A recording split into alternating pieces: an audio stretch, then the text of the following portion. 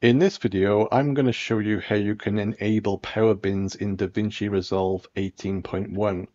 So let's open up the program. So if you've recently upgraded to 18.1, you may have noticed that your power bins have now disappeared. Normally to get power bins, you click on the view option on the top toolbar and the option would be in there somewhere to enable them. Now it's disappeared for some reason, but there's quite a simple process to get them back. So all you need to do is make sure you're on your edit page once you're on your edit page, make sure you've got the media pool selected. And once that's selected, you should see three little dots towards the right hand side. Click on the three dots. Then you can see right down the bottom it says show power bins. Click on that and your power bins will appear on the left hand side. And if you've upgraded, all your contents from your previous version should be there. If not, just drag and drop them there and you're good to go. That's it. Thanks for watching.